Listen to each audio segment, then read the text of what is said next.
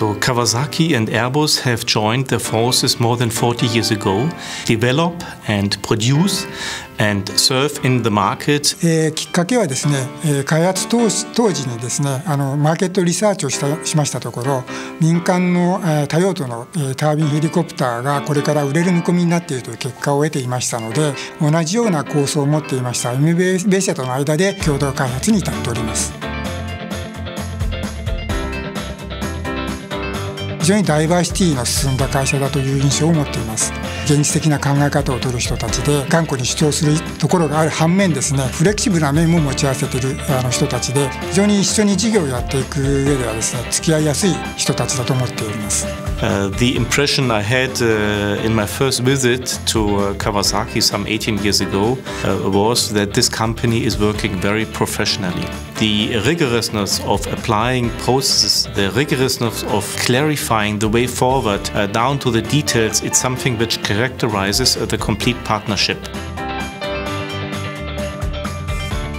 大型から小型まで、えー、フルに製品ラインアップを持つ世界ナンバーワンのヘリコプターメーカーと言って良いんではないかと思います。So the strength and uh, the contribution of Kawasaki to this BK117 is with the structure. It is uh, top class 統合コックピットそれから自動操縦システムローターシステムなども持っておりまして販売のネットワークサービスのネットワークを持っておるのが非常に大きな強みではないかと思います The next contribution is through their gearbox. The main gearbox of Kawasaki is one of the best that we have in our complete Airbus fleet on the BK117. There are further parts which are provided by Kawasaki, such as the electrical basic system and the fuel tank system.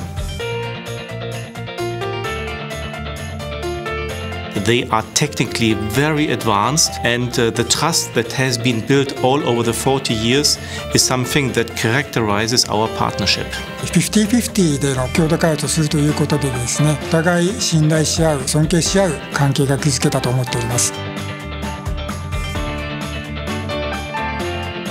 世界的に昨今、え災害が多発しております。私どももですね改善を施しまして災害に対するニーズに応えていければと思っております。お互いの罪を持ち合うことで、え信頼性、安全性そして操縦性の高い製品開発につながっていると思います The product is serving uh, all over the world. There will and have been so far studies that both Kawasaki and Airbus have been conducting in the past. I trust it will lead one day sooner or later into one or even further more products